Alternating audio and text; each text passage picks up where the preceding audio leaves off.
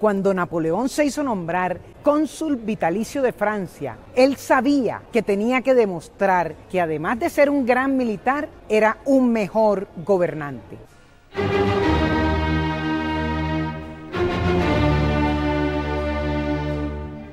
Fue así como trabajó incansablemente, 18 horas al día, 7 días a la semana, para convertir a París en la ciudad más linda y más moderna del mundo, inspirándose en la antigua Roma. Comenzó a construir el Arco del Triunfo después de su victoria en la batalla de Austerlitz. Edificó la célebre columna de la Plaza Vendôme, inspirada en la columna de Trajano en Roma remodeló el Palacio de las Tullerías, construyó carreteras para mejorar el sistema de transportes y varios de los puentes sobre el río Sena que atraviesa París. Imaginen ustedes cuán visionario era que hizo aprobar una legislación urbanística, mientras que hoy, 200 años después, hay algunas de las más ciudades importantes y célebres de Colombia que ni siquiera cuentan con esa regulación. Renovó y amplió el Museo del Louvre exponiendo obras de arte de todos los territorios conquistados. Cabe anotar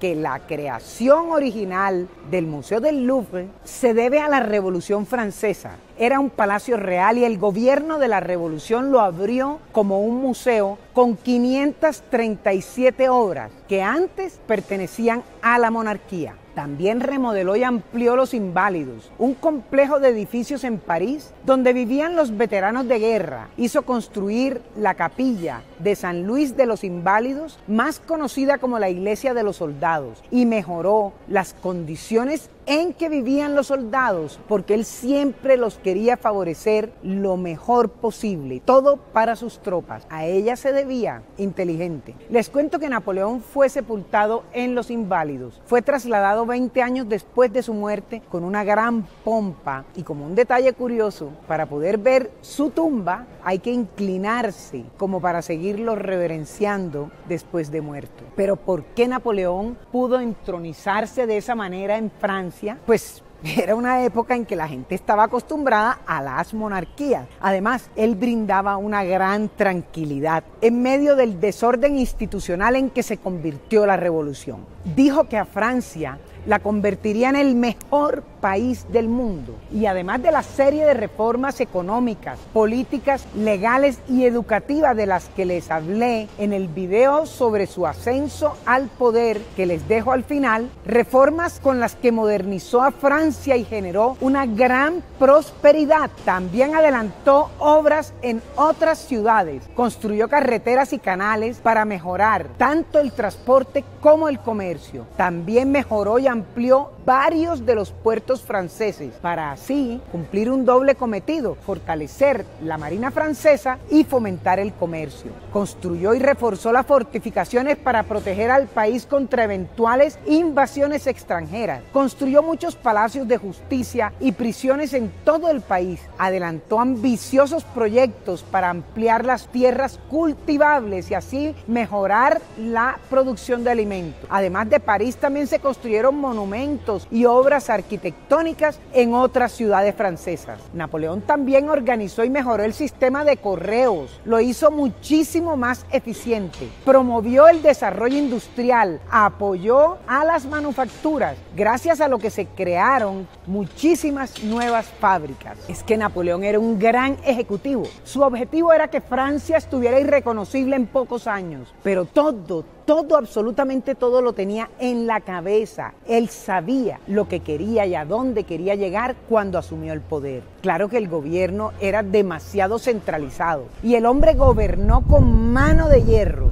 Él decía que creía en la igualdad, pero en la igualdad de oportunidades, jamás en el igualitarismo. Abominaba a los opositores, le encantaba el unanimismo. Todo lo que oliera a democracia lo convirtió en una farsa, tanto las elecciones como el propio Parlamento. Él creía que el gobierno debería favorecer a la gente, pero no que la gente ejerciera el gobierno, como si no tuvieran capacidad para gobernar. Fíjate tú convirtió a Francia en un estado completamente policial, como cuartel cualquier dictadura férrea y fuerte. Y el jefe de la policía era José Fouché, a quien Stefan Zweig en su brillante biografía lo califica como el genio tenebroso. Ya se podrán imaginar cómo era el personaje. Mientras Napoleón gobernó a Francia, hubo un estricto control sobre la prensa. A partir de la Revolución Francesa fue increíble el aumento de las publicaciones periódicas. Había cientos de periódicos y panfletos que se publicaban y desaparecían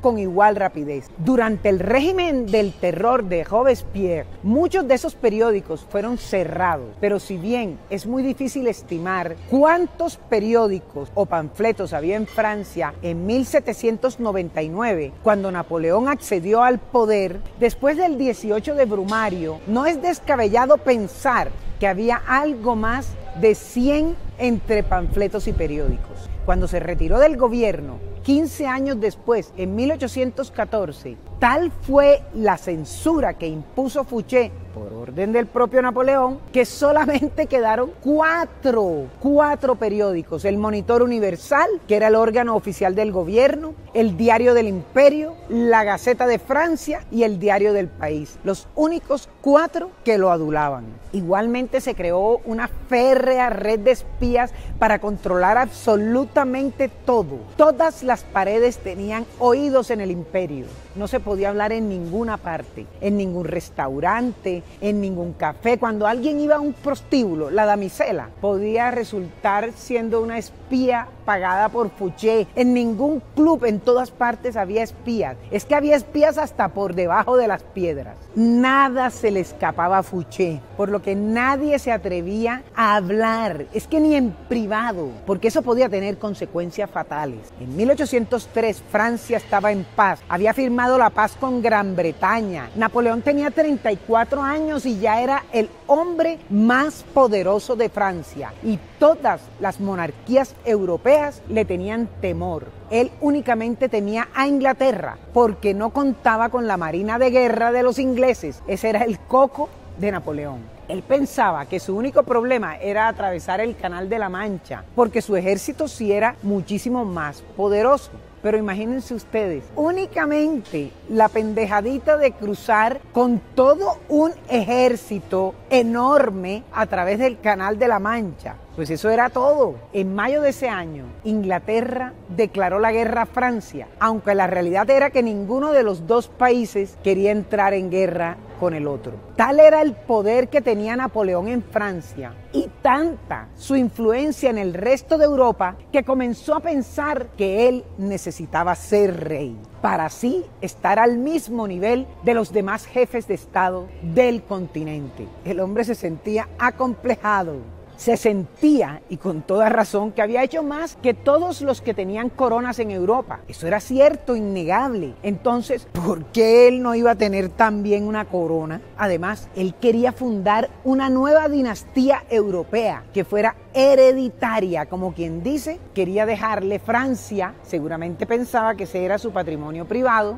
Bueno, Francia y nada menos era la herencia que él le quería dejar a sus descendientes y al mismo tiempo se contradecía metiendo en la mitad el cuento de la revolución, diciendo que, escuchen esto, que la única manera de que los cambios introducidos por la Revolución Francesa perduraran era que estuvieran garantizados por su permanencia en el poder. ¿Qué tal esa?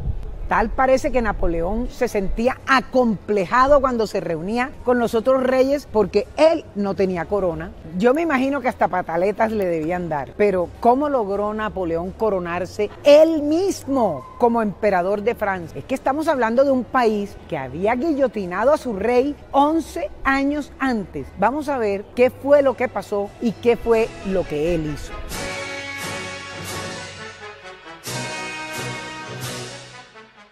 Lo primero fue consolidarse en el poder como cónsul vitalicio, con todas las obras y la gran reforma del Estado que hizo, así como pacificar a Francia. Recuerden que eso era un desorden horroroso cuando él llegó y además convertir a Francia, al menos ante el imaginario popular de su propio país, en la potencia de Europa. Lo segundo fue, ojo, él nunca dijo, es que a mí me hace mucha falta una corona. No, es que yo me siento menos cuando me reúno con los otros monarcas y yo no soy rey. No, señor, él nunca dijo eso. Él era un tremendo político. Esa fue una propuesta que vino desde instancias en la sociedad incluso hasta del propio Parlamento. Lo tercero es que Napoleón se daba su tono. Cuando le propusieron ser emperador respondió que él no podía aceptar, pero que si tanto insistían, él pensaba que eso debía someterse a votación popular y propuso un plebiscito en el que obtuvo casi el 100% de los votos. Obviamente, previa manipulación de las elecciones. Cuarto, después de ganar el plebiscito abrumadoramente, hizo que el Papa estuviera presente en la coronación, pero no para que lo coronara, sino para que bendijera su imperio. ¿A ustedes no les parece que eso fue como una humillación para la iglesia? De allí se puede deducir el poder que tenía ese hombre y cuánto le temían No es que él haya hecho eso de facto, no señor, hizo aprobar toda una reforma administrativa para que todo estuviese dentro de la legalidad, para llegar finalmente al acto de coronación que fue el 2 de diciembre de 1804 en la Catedral de Notre Dame de París. Fue una ceremonia en la que hasta el último detalle fue planeado personalmente por Napoleón. Se aseguró de que en ella se reflejara todo su poder y la grandeza de Francia, asimilando esa grandeza de Francia como propia de él. Además de los rituales religiosos, contando con la presencia del Papa Pío VII, también hubo rituales civiles para dejar en claro su poder terrenal, su inmenso poderío sobre los hombres. Estando presente el Papa, Napoleón se coronó a sí mismo como emperador de Francia.